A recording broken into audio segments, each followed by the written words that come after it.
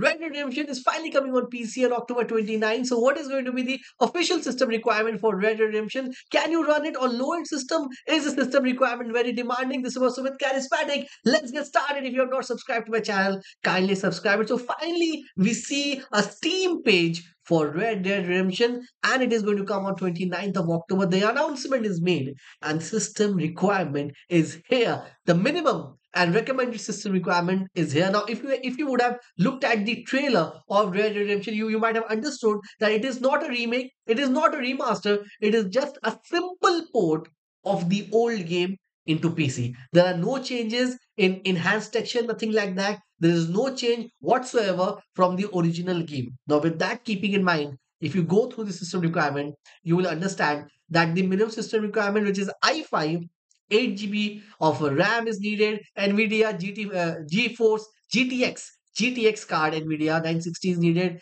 That version 12 and the storage of 12 GB. So you can understand that it is not going to be a very demanding game considering it's a very old game now there, there, there will be debates whether this game should have been remade remastered or remake something like that but this game was built on a very old engine uh, so porting that or remaking remaking i think would have been a bigger challenge. That's why you see a simple port here of this game on pc and uh, the the good news is that low end system can run this game. 12 gb 12 GB, just 12 GB of storage space you need to run this game. And if you want to run at great FPS, I think this is the game which will run for you. You need, you again need i5 of 8th generation, 8 GB of RAM is needed, NVIDIA RTX card, 12 GB DirectX, and 12 GB of storage.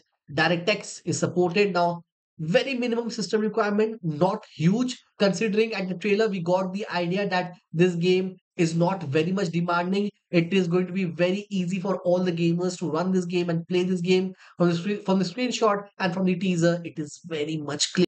Now the talking point is that should have been there a remake or remaster. I want to hear from you. I want to hear your comments. Whether are you happy with this port? I'm very happy with this announcement, but a little bit of disappointment was because this is not going to be a remake or remaster. We were expecting a remake kind of a thing, like what happened in Mafia Definitive Edition, but it is not going to be a remake. It's going to be a simple control V, control uh, control C, control V kind of a copy and paste kind of thing. So let me know section what you guys think about think about it. Can you run this at high FPS? Also, let me know in the comment section.